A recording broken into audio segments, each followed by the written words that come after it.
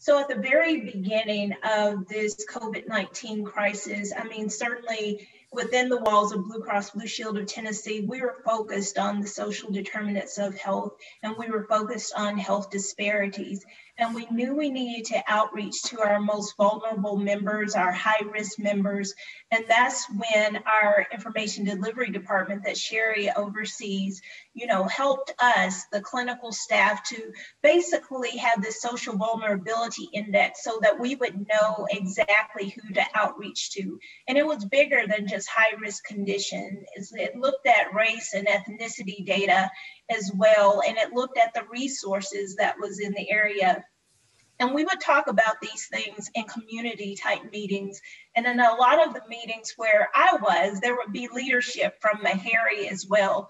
And I think that shows us like what public health really is about. It's about all of us bringing our resources, our strengths to the table so that we can really wrap ourselves around the people that need us the most. And I knew one of these days we would have the opportunity to connect with Meharry so that we could combine our data, our different perspectives, so that we could really make a difference